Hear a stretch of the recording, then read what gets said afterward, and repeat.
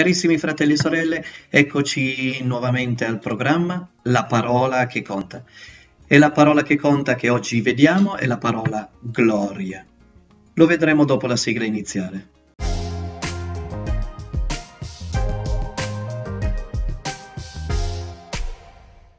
Eccoci qua, fratelli e sorelle. Sapete che la parola gloria nella Bibbia appare ben 466 volte?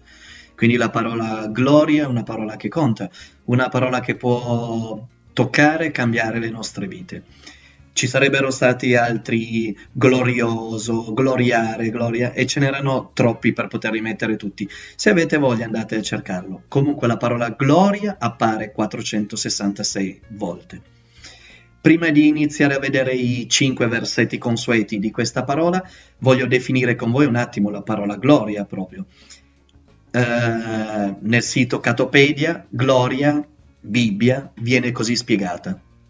Il termine dell'Antico Testamento che esprime il concetto di gloria è kavod. Tale termine implica l'idea di peso.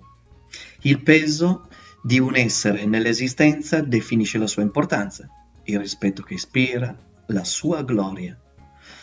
Per l'ebraico, a differenza del greco e nelle lingue moderne, la storia non indica tanto la fama quanto il valore reale stimato dal suo peso. Cioè, Dio è Kadosh, Dio è il santo, noi lo diciamo a messa, santo, santo, santo. Ok, Dio è santo in questo mondo spirituale, puro spirito Dio, e e la sua trascendenza si manifesta nell'immanenza, cioè nella nostra vita, con un peso. La sua gloria, la kadosh, la santità diventa un peso, una presenza, una kavod. Quindi Dio si può pesare, cioè quando dici che dai il giusto peso alle cose, appunto, ogni cosa ha un peso, ha una gloria nella vita può avere poca gloria, tanta gloria. Ecco che la Kadosh di Dio noi riusciamo a comprenderla in base al peso che manifesta, in base alla sua Kavod, la sua manifestazione. Dice ancora in Catopedia, Kavod, riferito a Dio, non ne indica quindi l'essenza, perché è Kadosh, ma il modo di manifestarsi in tutto il suo splendore. È lui stesso che si dà a conoscere in tutta la sua gloria. È significativa in tal senso la frequenza con cui Kavod accompagna anche termini che indicano il vedere e l'apparire, cioè Dio che non si vede si è manifestato attraverso che cosa? La creazione. La creazione ci fa vedere la gloria di Dio.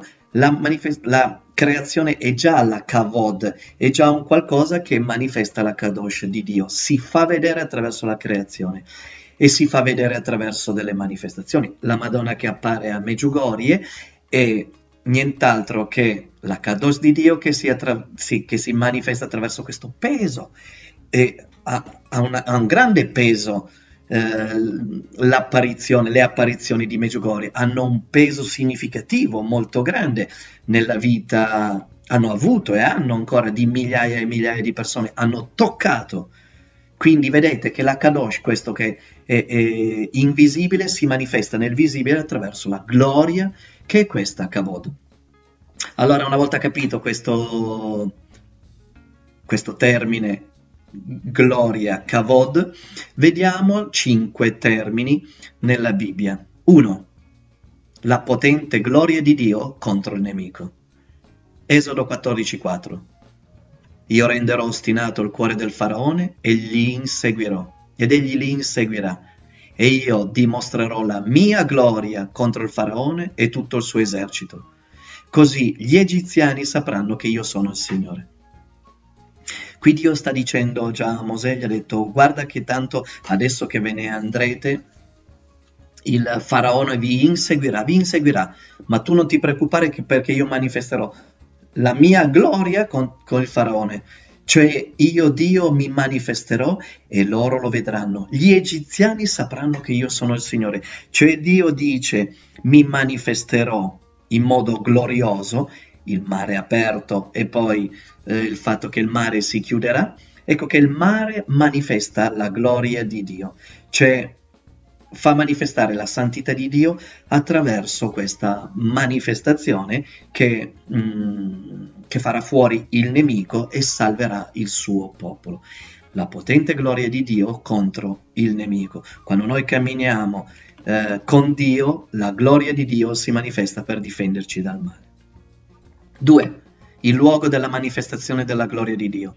Esodo 40, versetti dal 33 al 35. Infine resse il recinto intorno alla dimora e all'altare e mise la cortina alla porta del recinto. Così Mosè terminò l'opera. Allora la nube coprì la tenda del convegno e la gloria del Signore riempì la dimora. Mosè non poté entrare nella terra del convegno perché la nube sostava su di essa e la gloria di Dio, la gloria del Signore riempiva la dimora meraviglioso. Mosè prepara il, uh, questa tenda del convegno, luogo nella quale si manifesterà la gloria di Dio. In questo caso addirittura era così pesante, presente Dio, che Mosè non riusciva a, ad andarci. Cari fratelli e sorelle, ci sono alcune chiese nelle quali quando tu entri senti questa gloria, questa presenza di Dio. Questo è, è, è, è il peso e questa cavode di Dio che c'è in quel luogo e in quella chiesa. Alcune volte, ad esempio, quando noi ci siamo trovati a pregare, a un certo punto abbiamo sentito la presenza di Dio e c'è stata una volta che non siamo riusciti ad andare avanti, siamo rimasti quasi una decina di minuti fermi lì in adorazione, si sentiva la gloria di Dio. Ricordati, fratello sorella, che anche tu sei questa tenda del convegno. Quando lodi, ringrazi, benedici il Signore, la sua gloria, la sua cavode può manifestarsi nella tua vita.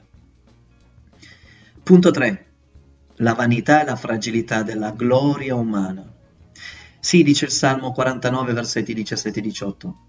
Non temere se un uomo arricchisce, se aumenta la gloria della sua casa. Quando muore infatti non porta nulla, né scende con lui la sua gloria.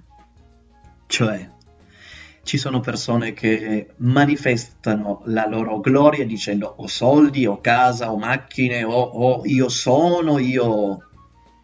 E la Bibbia dice guarda che la gloria dell'uomo è niente, schifezza, è nulla. Se la gloria dell'uomo non è Dio, ma sono i soldi, ma sono altre cose, quindi idoli, dice è niente lo stesso. Quando muore non porta con sé nulla. Questa sua gloria non va con lui, non gli servirà a niente.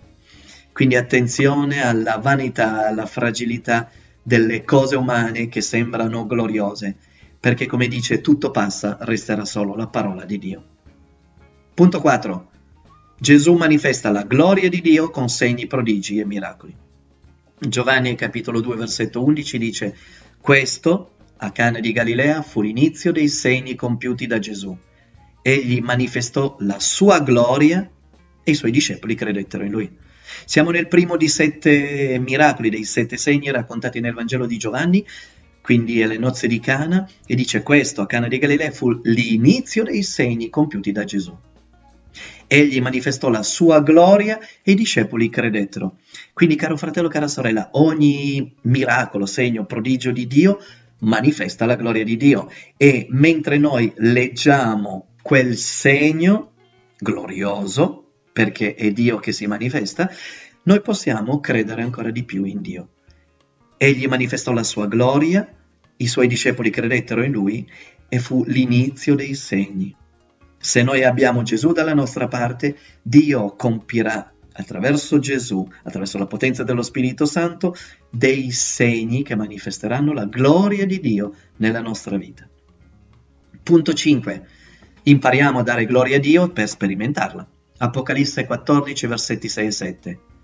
Vidi un altro angelo che volando nell'alto dei cieli rencava un Vangelo eterno da annunciare agli abitanti della terra e ad ogni nazione, tribù, lingua e popolo Egli diceva a gran voce, temete Dio e dategli gloria, perché è giunta l'ora del suo giudizio. Adorate colui che ha fatto il cielo e la terra, il mare e le sorgenti delle acque. Questo angelo, cari fratelli e sorelle, reca appunto la lieta novella, c'è la possibilità che tutti possano salvarsi, ma perché le persone possano essere salvate devono, dice, temete Dio e dategli gloria perché c'è il momento del suo giudizio. Quindi mentre noi temiamo Dio e diamo gloria, crediamo nella sua misericordia e non sperimenteremo il giudizio. Adorate quindi colui che ha fatto cielo e terra. Ed ecco che durante la messa noi diamo gloria a Dio con il santo, ma anche con il gloria a Dio nell'alto dei cieli e pace in terra a noi, agli uomini amati dal Signore. Noi ti lodiamo, ti benediciamo, ti adoriamo, ti glorifichiamo, ti rendiamo grazie impariamo a cantare il gloria più volte nella nostra vita ed ecco che così il Signore si manifesterà con potenza. Il Signore manifesterà eh, Dio che è santo, manifesterà tutta la sua santità e il suo amore con una cavoda, con un peso. Vedremo, sperimenteremo la gloria di Dio. Quindi dai gloria a Dio, non dare più gloria alle cose umane, perché la gloria di Dio è quella che manifesta Dio e inizieranno dei segni gloriosi nella tua vita e tu lo sperimenterai e tu lo crederai. Gloria è una parola che conta. Falla contare nella tua vita fino alla prossima parola che conta.